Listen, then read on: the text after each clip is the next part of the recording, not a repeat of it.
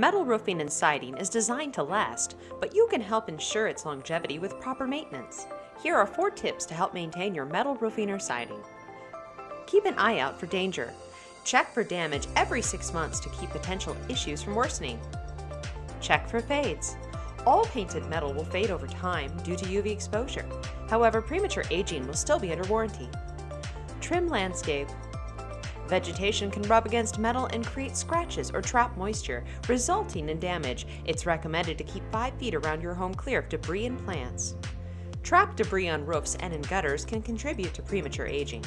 Key areas to clean are valleys, roof transitions, and behind chimneys. A simple rinse using tap water is sufficient.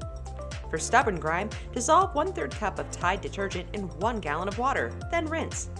Never use abrasives or chemical cleaners as they can damage metal.